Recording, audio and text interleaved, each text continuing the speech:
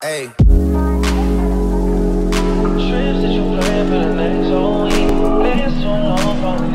Hey I'm Ophelia and welcome back to my YouTube channel. If you're new to my channel, I post health, fitness, and lifestyle videos. So if you're into that kind of stuff, please be sure to hit the subscribe button below. So if you guys are noticing that I have the same thing on that I had in the last video I posted, it's because I'm recording these videos on the same day. I'm trying to get more intentional about my content so I can be more consistent with my posting.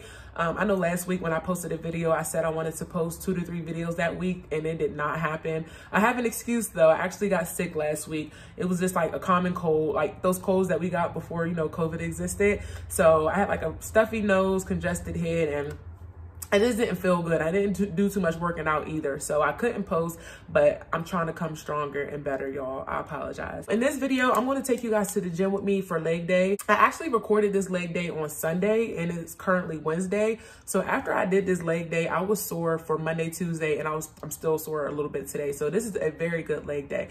But the main reason why I wanted to make this video is because I've had a few women actually tell me that they've been incorporating fasted cardio in the morning at least three times a week, 50 minutes on the Stairmaster. And that makes me feel really good I don't know what to do with my pen.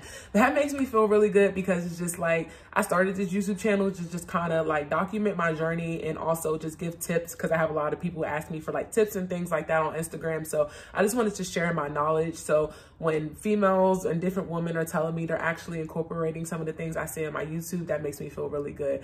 But I did want to say in this video that cardio is not my main focus. Right now, I have to do so much cardio because I do want to lose weight for summer and make sure my body's together.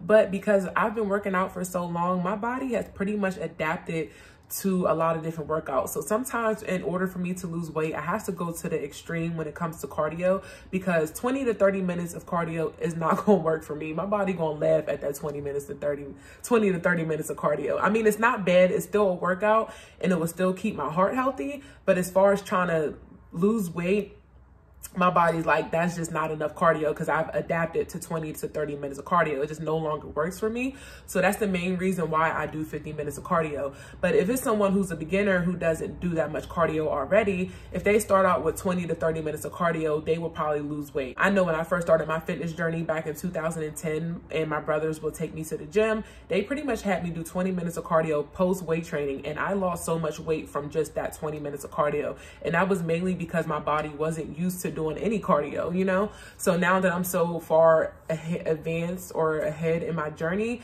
um, that just doesn't work for me anymore, anymore. So I have to do more cardio to lose the weight, if that makes sense. So I don't want to push and push cardio on my channel because I am wholeheartedly a weightlifting girl. Like if you follow me on Instagram, which you should be following me on Instagram. Don't forget, I'm Ophelia on Instagram. I'll put the tag so you guys can go follow me. I'll link it in the description. Just go follow me. But if you follow me on my Instagram, you will see how much I love to lift weights. So I think on my channel, I might be pushing too much cardio. Cardio is definitely necessary because it helps keep a healthy heart and we all need that to live longer. But I really believe weightlifting is a little bit more important than cardio when it comes to certain things, mainly when it comes to building curves. We can build our butts and build hamstrings and quads in the gym and you only get that from lifting weights. You don't get that from cardio. And even if you are in like a weight loss phase and you're a beginner and you're trying to lose weight, weightlifting is going to help you more than cardio does. When you're doing cardio, you're only burning the calories you're burning while you're doing cardio. But while you're weightlifting, the more muscle you build, the faster your metabolism runs and the more calories you burn. So you actually burn more calories just by lifting weights because you're burning calories in the gym and outside of the gym by lifting weights. I'm just going to show you guys or basically take you guys to the gym with me. I had a very good leg day and yeah, just stay tuned and I hope you enjoyed this video. Please don't forget to like, comment, and subscribe to my channel as well. Today is a quad focused leg day. So when I do quad focused leg days, I always like to warm up with either glutes or hamstrings, sometimes both, but today I just warmed up my glutes. Main reason I do this is because when I get into my compound movement, which nine times out of 10, it's a squat on quad focused leg days, if your glutes and your hamstrings are warmed up once you get into your squat exercise, they'll help assist you in the exercise so that you can get a full range of motion. And a full range of motion is important because it helps give you better leg growth. So if you're doing a squat and you're only quarter squatting, your legs won't grow as much as they would if you were getting to a full squat when you really get ass to grass. So that's important. And I superset the glute kickbacks with the hip abductor machine. So the glute kickbacks, I did four sets of 10, but I had a slight pause at the top of each kickback. You'll see once I go back to doing the glute kickbacks. And then for the hip abductor movement, I did four sets of 20.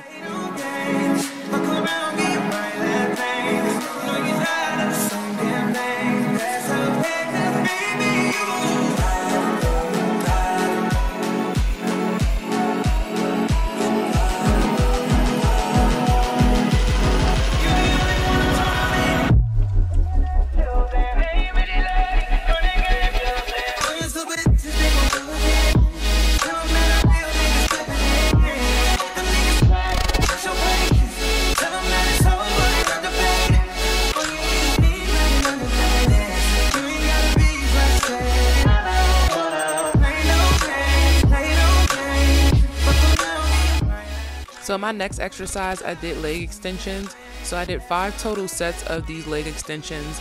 The first set I didn't record, but the first set I did both legs at a time. But you see me here, I'm doing single legs right now. But the first leg, I mean the first set, I actually did both legs at the same time and I did 25 reps. It was like a very lightweight, I believe like 40 pounds. Then the second set, I did single legs. So I did each single leg for 20 reps.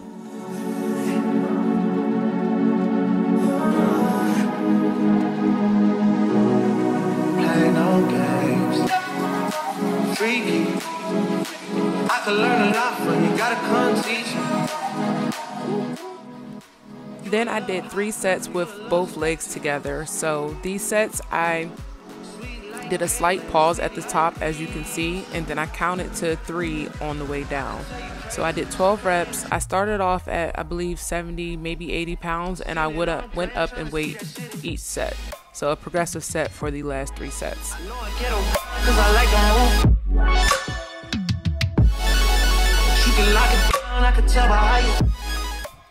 So before I get into my squats, I'm going to do squats next. I have like some slight ankle mobility problems where my ankles really don't allow me to be as flexible as I want in my squats. So here's something that I do before each set of squats that I like to do. So this kind of just warms up my ankles and makes sure that I can get a better flexibility whenever I go down and get my squat.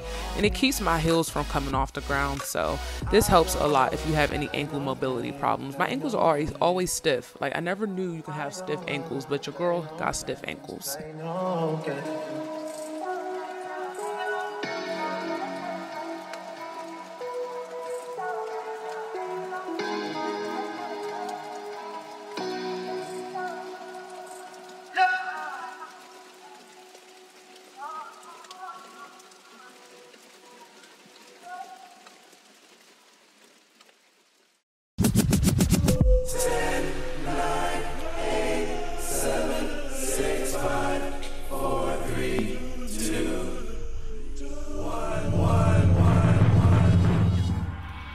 So next up, I'm doing my squats. Um, this is my third set here. So I actually did four sets total. My first set was at 135 pounds and I did nine reps. Then I went up to 185 pounds and did nine reps. My third set was done at 205 pounds, and this is the third set that you guys see here and I did nine reps. And then my last set was 135 pounds. I went back down to 135 and I bust out 20 reps, which is brutal, but that's what makes this leg day hard and effective.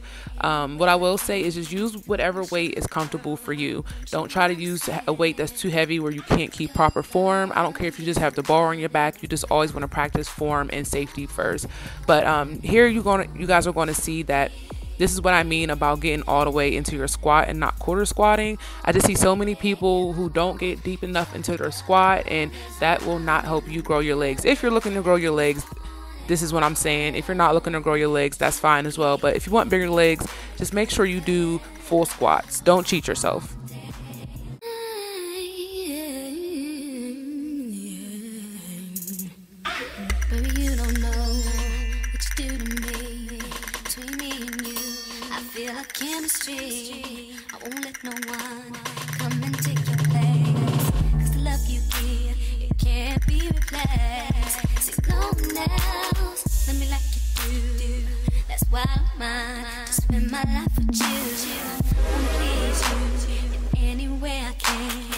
I wanna my. Don't you understand? Your love. After I finished up my squats, I hopped on the leg press machine. So for this leg press machine, I did one huge gigantic set. Um, this is some bodybuilder stuff right here. A good friend of mine, he's a bodybuilder and he taught me different ways to grow huge legs. So this is one of them. It's a pretty crazy method, but basically what I did was once I got on the leg press machine, I did 25 reps at, um, I think this was four plates. No, I'm sorry, three plates.